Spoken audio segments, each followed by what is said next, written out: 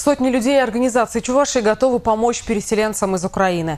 Сегодня в детском центре Кокаду провели сразу несколько праздников для ребят из Луганской и Донецкой областей. Завели свои моторчики. Дрынь-дынь-дынь-дынь-дынь. У этих ребят теперь все по-новому. Новая страна, новый дом и новые друзья. Они только что познакомились и уже подружились, ведь общих тем для разговоров предостаточно. Я с города Константиновки, живу здесь уже полтора месяца. Я с Луганска, живу примерно полтора месяца и собираюсь здесь оставаться на совсем. Люди нравятся, очень добрые. добрые, гостеприимные. Многие родители этих ребят уже нашли работу и могут позволить себе снимать жилье. У Юлии Настрадин теперь каждый день праздник. На родине она была секретарем на шахте, а теперь администратор развлекательного центра.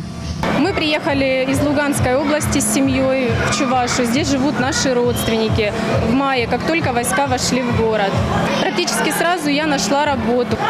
Все здесь нравится, город очень красивый. Работы у Юлии и у ее коллег кнопочки и витаминки предостаточно. Счастливые улыбки появятся сегодня на лицах более 150 детей.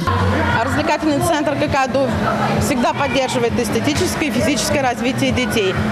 Тем более, что поддерживает детей в трудной ситуации.